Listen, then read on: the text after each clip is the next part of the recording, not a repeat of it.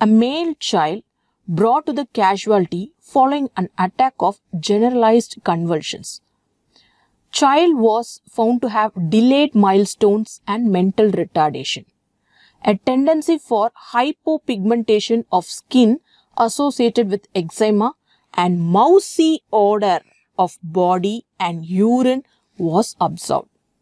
The child look was dull and blank. So a child was brought to the casualty with complaints of convulsions. There is a developmental delay and mental retardation, hypopigmentation of skin with eczema and rashes. Also, they complain, the parents complain of mousy odor of body and urine. The lab investigation showed blood phenylalanine 20 milligram per deciliter. Normally it is less than 1 milligram per deciliter. Ferric chloride test, it is positive. It gives blue green color. It's a transient blue green color, so it is positive. And also Guthrie's test is positive. So what is your diagnosis? It is a clear-cut case of phenylketonuria. Okay, classical phenylketonuria. The metabolic disorder in this case is phenylketonuria. So what is the enzyme defect? It's a clear-cut case of inborn error of metabolism. So some enzyme should be defective. The first and foremost enzyme involved in the conversion of phenylalanine to tyrosine is PAH, the monooxygenase, that is phenylalanine hydroxylase. This enzyme is defect in this case. Whenever PAH is defective, it is called as classical phenylketonuria. Okay, it is an autosomal recessive disorder. Here, the phenylalanine cannot be converted to tyrosine since the enzyme is deficient. It can go into a minor pathway by which it can produce phenyl pyruvate. From phenyl pyruvate, it can form phenylacetate, lactate and phenylacetyl glutamate. They are all together called as phenyl ketones. These phenyl ketones are increased in blood which is then excreted in the urine. This is the reason for mousy odor of the sweat and urine. Okay, so the phenylalanine gets accumulated which in turn enters into the minor pathway and produces phenyl ketones. These phenyl ketones are excreted through sweat and urine causing mousy odor. This is the biochemical basis behind phenylketonuria. There are various types of phenylketonuria. In that, the classical one is due to phenylalanine hydroxylase. When dihydrobiopterin reductase is deficient, otherwise it is synthesized but functionally inactive, it leads to type 2 and 3 defect.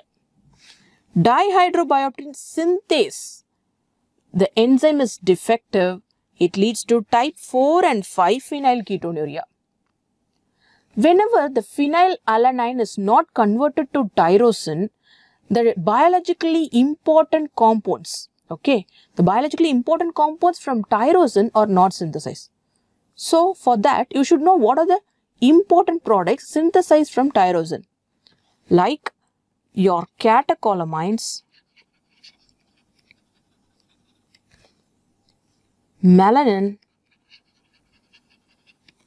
and thyroid hormones are not synthesized since phenylalanine cannot be converted to tyrosine. One more thing, this dihydrobiopterin reductase synthase all points to only one thing, tetrahydrobiopterin. This tetrahydrobiopterin is also required in the reactions of dopamine and serotonin. So whenever this compound is not available, the metabolism of dopamine and serotonin synthesis is also not taking place. So it leads to agitations, tremors, hyperactivity of the child. Since melanin is not synthesized, it leads to hypopigmentation and also skin rashes.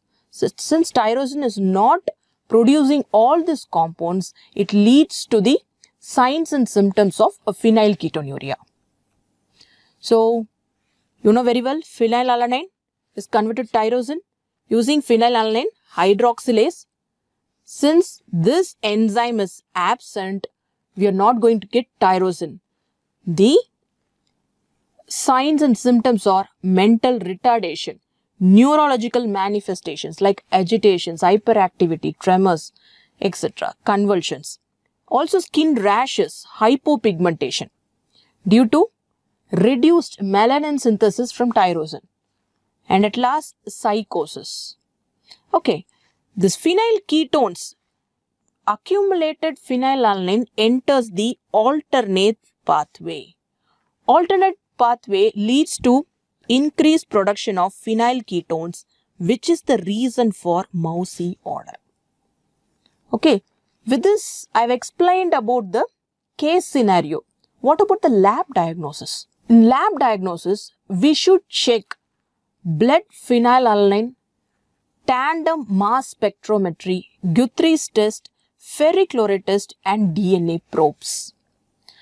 Okay, here the blood phenylalanine in this case is 20 milligram per deciliter. I have said normally it is less than 1 milligram per deciliter. That means the serum level of phenylalanine is increased.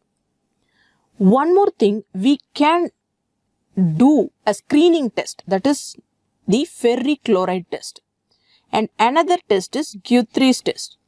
Tandem mass spectrometry and DNA probes, we can analyze the defect in the enzyme. So, this is the Guthrie's card.